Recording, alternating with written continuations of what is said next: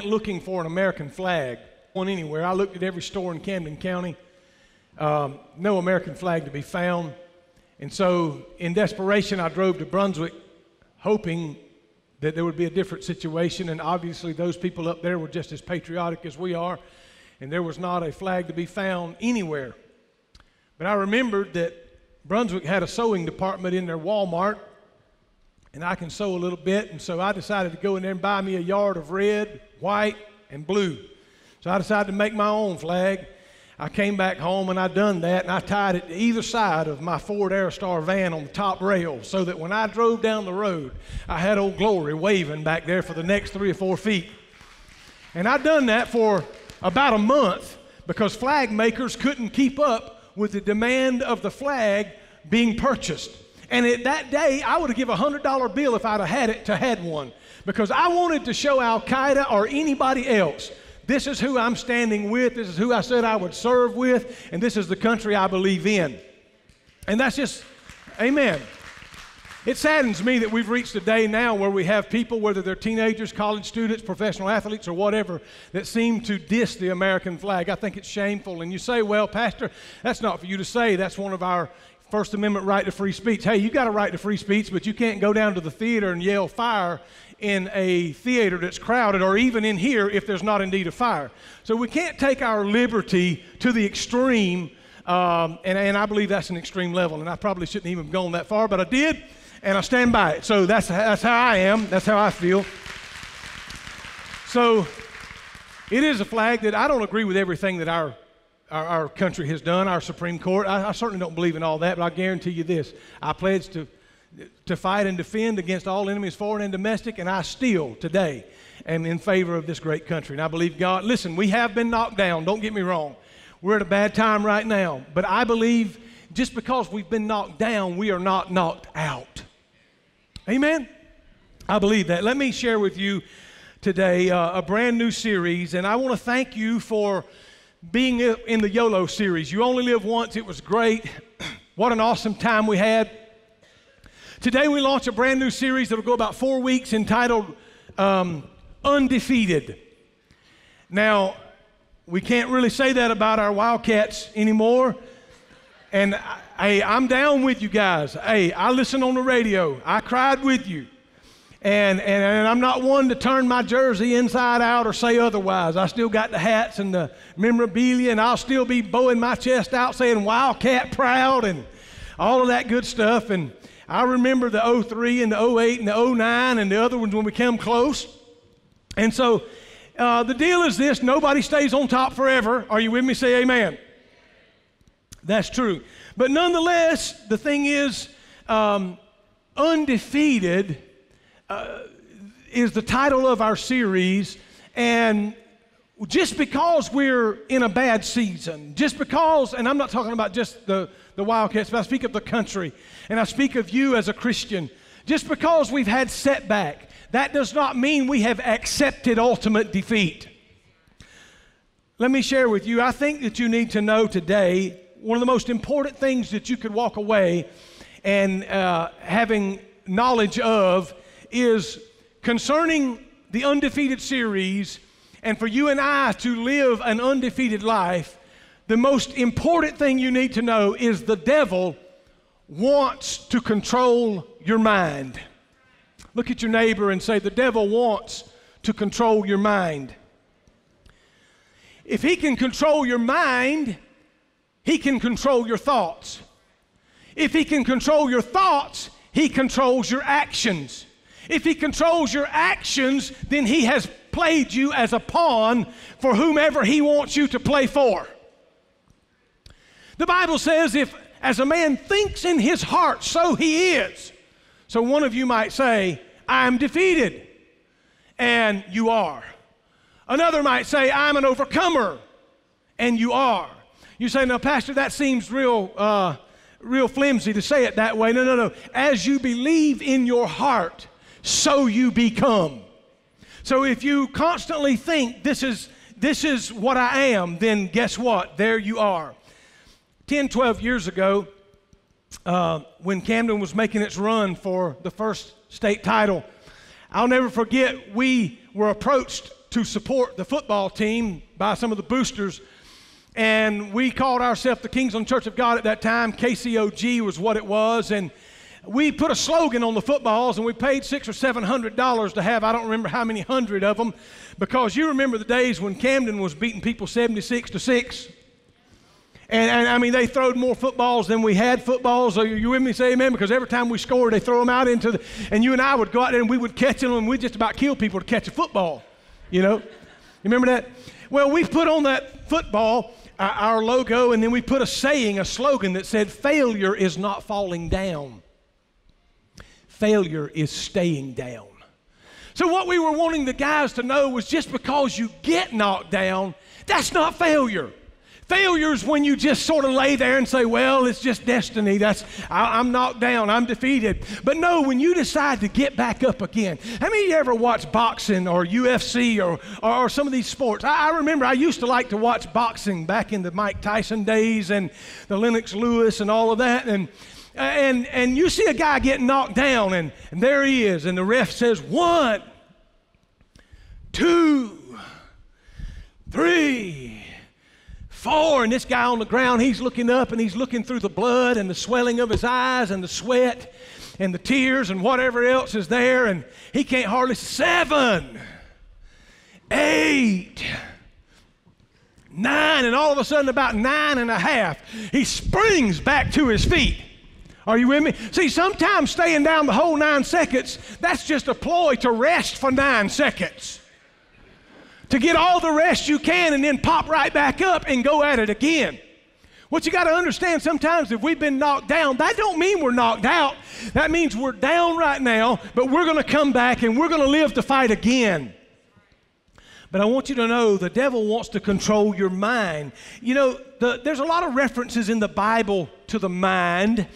And, and why is it important for you to know that the devil wants to control your mind? Here's why it's important for you to know that. Because in this six or eight inches between here and here, most battles are won and lost right there. You say, I thought it was, you know, where they caught the football. I thought it was where they, they knocked somebody out. No, right here, be, between the ears, right here, is when most battles are won and lost. And in your Christian life with the Lord Jesus Christ, most battles are lost and won right here. It is what you set your mind to do. You've heard someone say, but you, you they say, well, look at that little guy. He's so little, he ain't nothing. And they say, but you hadn't seen his heart. They have more fight, they have more heart. Listen, the Bible talks about a confused mind. The Bible talks about an anxious mind, an evil mind, a restless mind, rash and deluded. It talks about a troubled mind or a depraved mind, a sinful mind, a dull mind, a blinded mind, and a corrupt mind. But I remember a place where he said, But if there's any virtue, if there's any praise, think on these things whatsoever things are lovely, whatsoever things are pure, whatsoever things are of good report. And he tells us to dwell on the Lord Jesus Christ and set our affection and our mind on good things. Because as you think, so you are. You ever go into work and say, Boy, I sure hate going to work today. It's going to be a bummer. I got to fire somebody. I gotta, I gotta eat the frog. I mean, I gotta, that, eat the frog is a phrase I use where if you gotta do some bad, terrible deed, write a terrible letter, have a terrible meeting, a terrible phone call, I say to our staff, eat the frog first. In other words, let that be the first thing on your agenda so that old frog don't have to sit on the bookshelf and croak all day at you and you dread it and you have a sourpuss attitude all day. Go ahead and eat that frog if you know you got to eat him before 5 o'clock anyway. That ought to help some of y'all. Most battles are won and lost right here. They have the heart to win Pastor Rick Warren of Saddleback Church said this There's a violent battle going on, it's raging around us 24 hours a day. He said in 1965, Donald Grey Barnhouse wrote a book called The Invisible War. He said, In this battle for our mind, it is a vicious battle, it is an intense battle, it is an unrelenting battle, it is an unfair fair battle because Satan doesn't fight fair. He never has played fair. And the reason why it is so intense is that it is the greatest asset and it is his greatest tool to destroy you, and that is in your mind.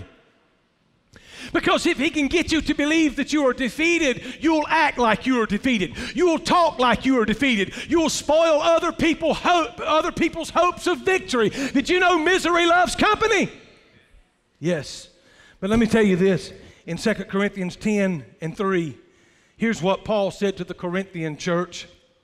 He says, uh, For though we live in a world we do not wage war as the world does. The weapons that we fight with are not weapons of the world. On the contrary, they have divine power to demolish strongholds. We demolish arguments and every pretension that sets itself up against the knowledge of God. We take captive every thought to make it obedient unto Christ. What he says is all the thoughts that come through our mind, we grab hold of that thought and we judge that thought by the Word of God. If the devil says we can't, we look at it and find the Word of God says we can. If the devil ran through our mind saying you're a loser, we look at this and it says we're a winner. If, if he says we are never going to be an overcomer, we look at this and it says we've already overcome. Matter of fact, let's just take a look. Uh, our job is to destroy the stronghold of the mind that the devil has come to set up. What is a stronghold, Pastor? I'm glad you asked. It might be a mental block that you have. It could be an argument that is set up against the knowledge of God in your own mind. It could be a world view, such as materialism or hedonism, Darwinism, secularism, relativism, communism, uh, atheism, either. Uh, listen, a stronghold could be even a personal attitude that you refuse to give up. Yeah, that one bounced a little bit. Uh, a personal attitude about something. Maybe it's seeking the approval of others and you can't get over seeking the approval of everybody else. Listen, I don't care how many people you make happy, you'll never make enough of them happy to make yourself feel good about yourself. Amen. Here's the real deal. If I can be true to Him, if I can lay my head on my pillow at night and go to sleep knowing that I have been true to what God wanted me to do today, it really doesn't matter if I please you or not.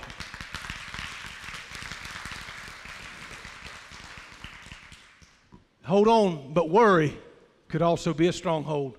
Some of you worried to death about your life, you're worried about your retirement, you're worried about your kids, you're worried about this, and you're worried about that, in so much that you have no joy in the Lord because every waking moment is a worryation. It is always something, this is going to go bad, that's going to go bad, and you're going to have an ulcer, you, you, you're going to have a heart attack, worrying to death about what might not happen.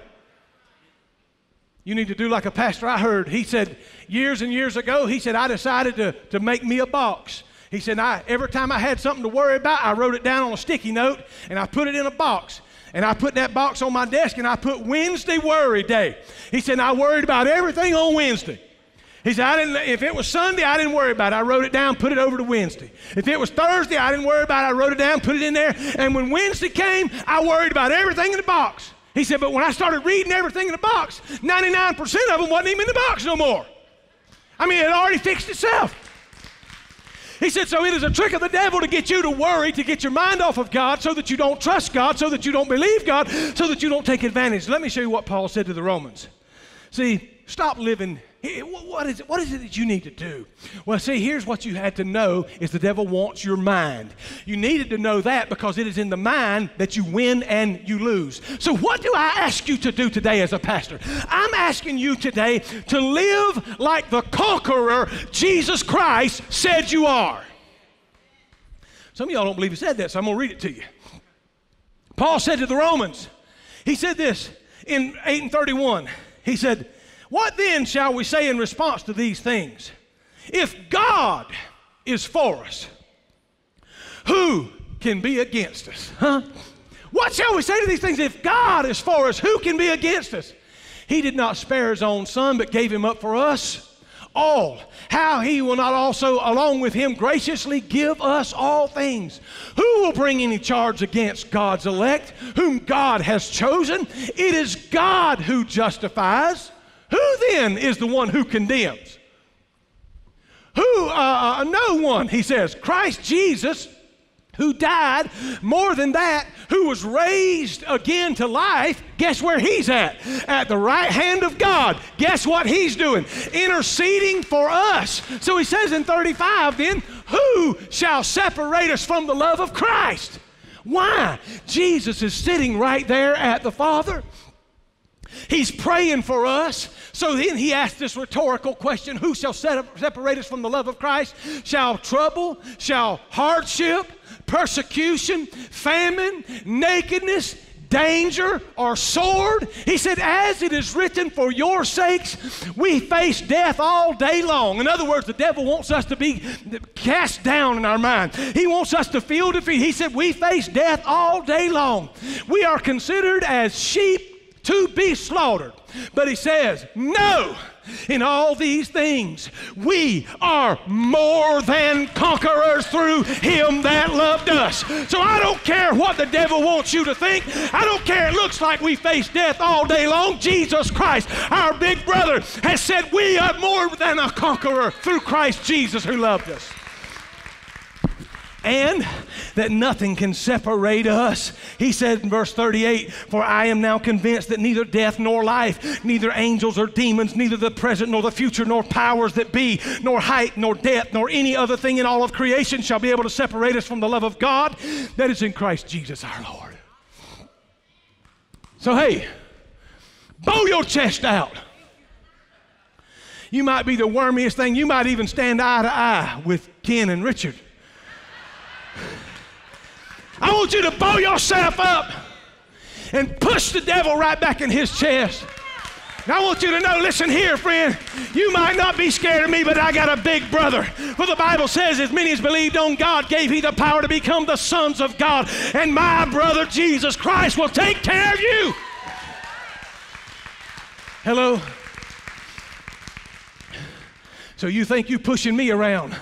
You got to understand that greater is He that is in me than He that is in the world. I'm not scared of you because I know who lives inside of me. I am His and He is mine. And when I am weak, He is strong. Oh, my friend, if God be for me, who can be against me? Oh, man. And then Paul would write on to the Corinthians and say this. To the Corinthian church, Paul would write this letter. He said in 2 Corinthians 4 and 8, We are hard pressed on every side but not crushed. We are perplexed, but not in despair. See, the old devil wants you to think, yeah, man, you are you are crushed down. You've been knocked down. You are perplexed. But Paul said, oh yeah, we, we, we've been pressed hard on every side. He said, but we ain't crushed. He said, yeah, we uh, we perplexed. What does that mean? Y'all have had that that look of being let me use a South Georgia term, some confused. That's a Browntown word. Huh? That's a redneck word.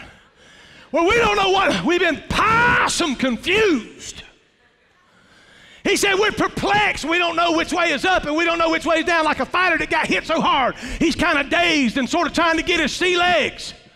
He said, I'm perplexed, but I'm not in despair. I'm persecuted, but I'm not abandoned. Did you hear that? He said, I'm persecuted. That means you've buffeted me. You've sent your friends to buffet me. Satan has buffeted me. Demons have buffeted me. He said, But I want you to know I'm not abandoned. It looks like I'm alone, but my Lord Jesus Christ is here. His name is Jehovah Shammah, and where I am, there He is also. Well, let, let me try to go on. But he said, I am persecuted. I realize your attack. I know that you're coming against me, but I'm not by myself. Oh, I can't help but run down this road, so y'all bear with me. Second service, I can do it if I like, I suppose. But nonetheless, I got thinking about uh, Elisha. Oh, Elisha was uh, surrounded by the Syrian army. King Ben Hadad had put them out, and uh, they come down and surrounded his house because he had told the king of Israel every move that Syria was making. And finally, they got a GPS coordinates on his house. And they surrounded his whole house, the entire village. They surrounded it in the mountains. Ben Hadad's army was there. And uh, Gehazi, Elisha's servant, heard that the Syrian army was around them. He walked out front one morning and looked into the mountains and he said, Oh, my, my, my, my. He done like some of us, oh, my, my, my, my. He, we are persecuted on every side. He ran back to Elisha and he said, Elisha, Master, I'm just trying to, I got to tell you, Ben Hadad's army has surrounded us and they stand shoulder to shoulder. They're all around us. We are cut off. There's nothing we can do. Here's the great prophet of the Lord that prayed for him and said, Oh Lord, open thou my servant's eyes that he might see. Go back again and look and see what you see. Gehazi went back and pulled the shutters open again and he looked and yeah, they were still standing around there, but behind and above them stood the angels of the Lord with their wings spread.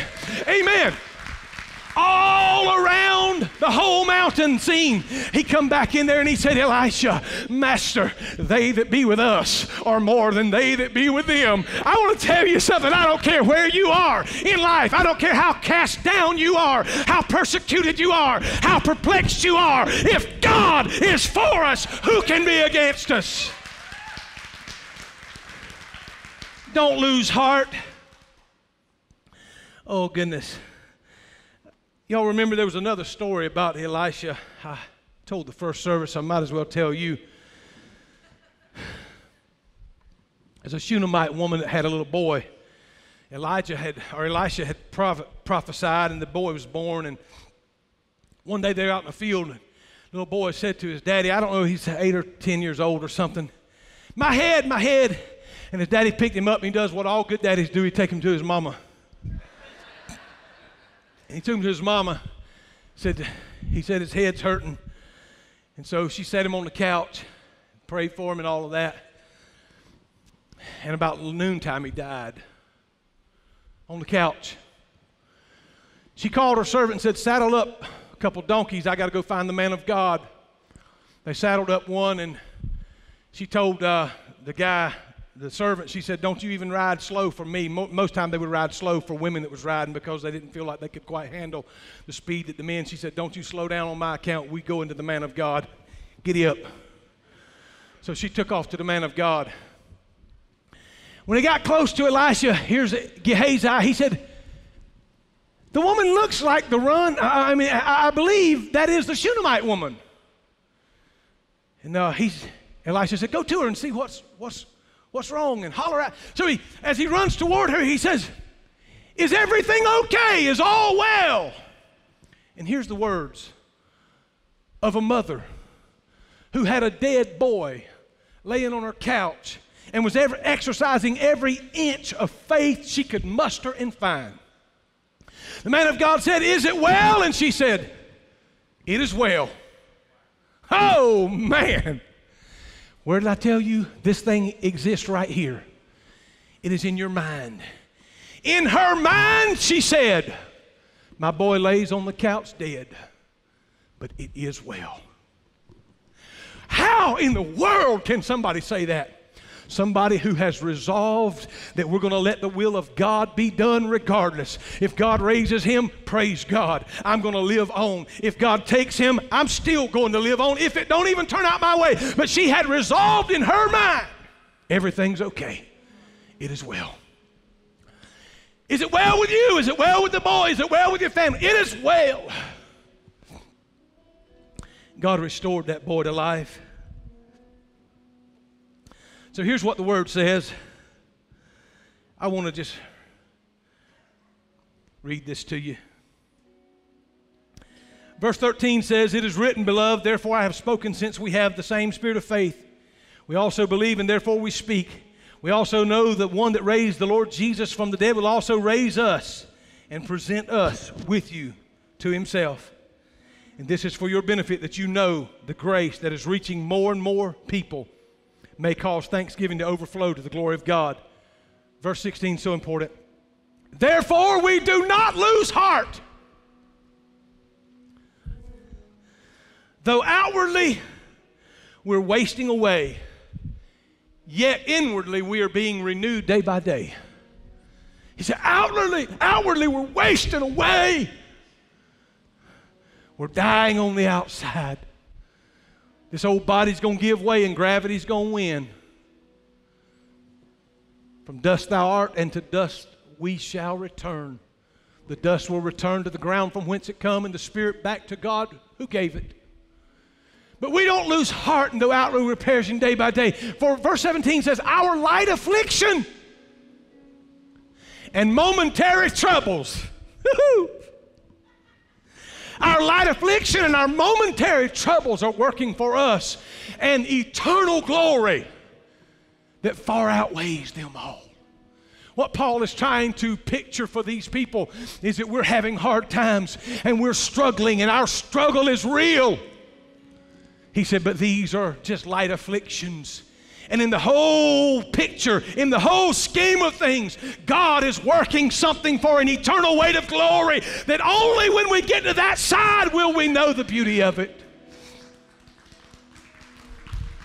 See, in our finite minds, all we can comprehend is from the day we were born until the day we leave. We cannot comprehend the eternal weight of glory.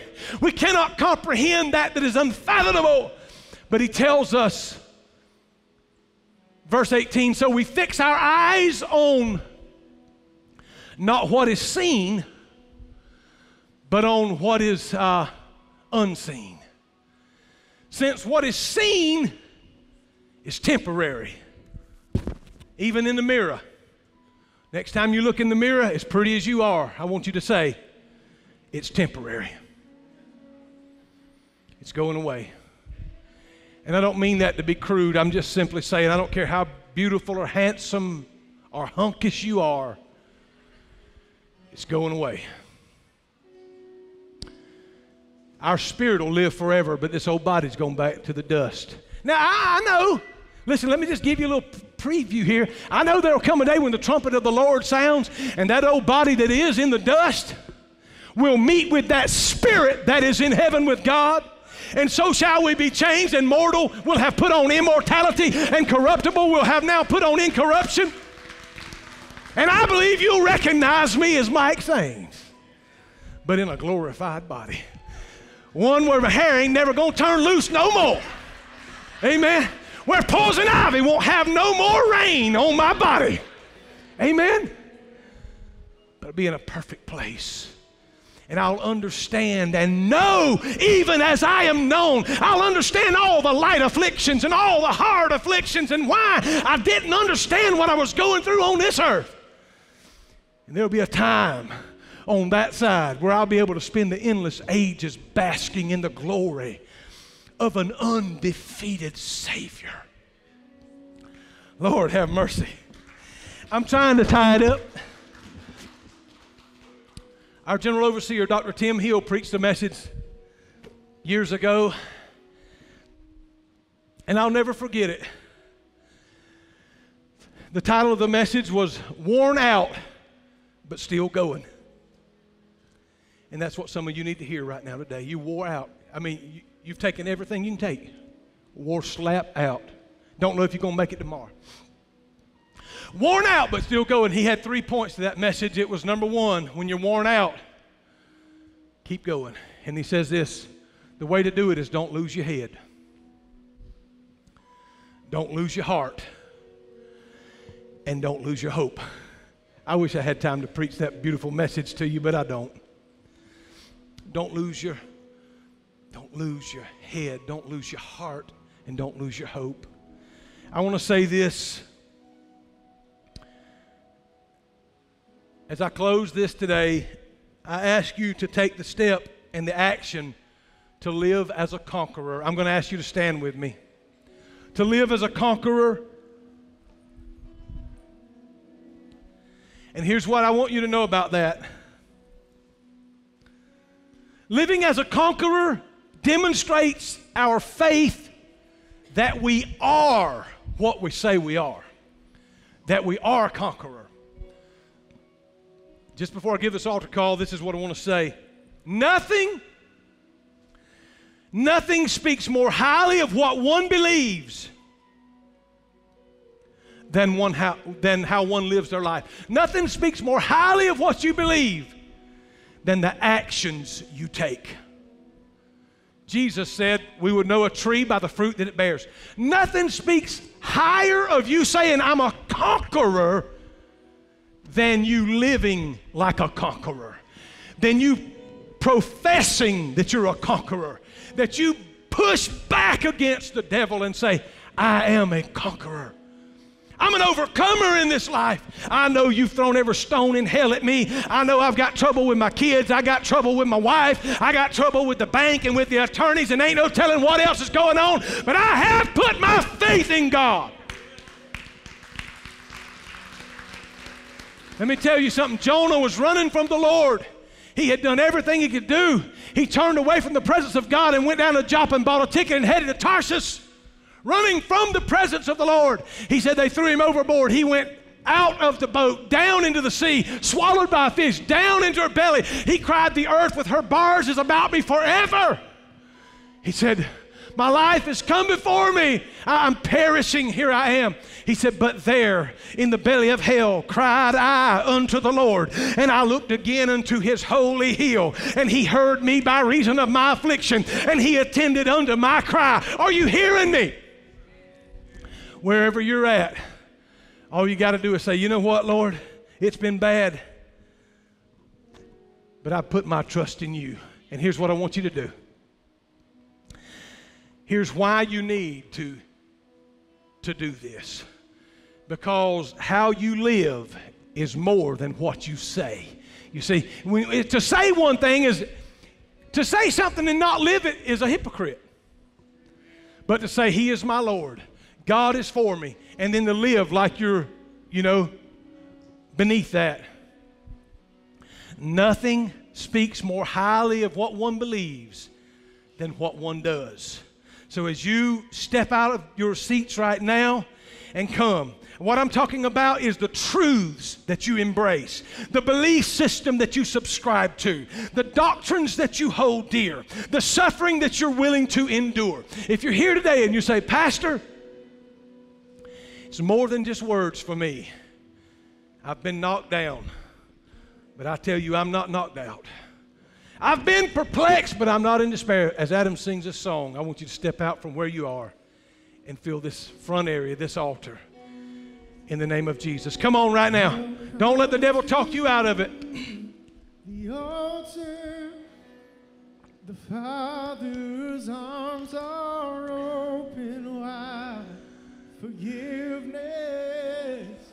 Thank you, Jesus. the precious blood of Jesus Christ. Oh, come Thank you, Lord. Thank you, Lord.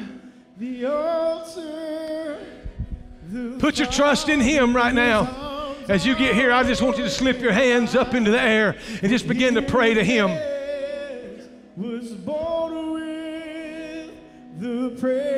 Here I am, Lord. Here I am, Lord. I need your touch.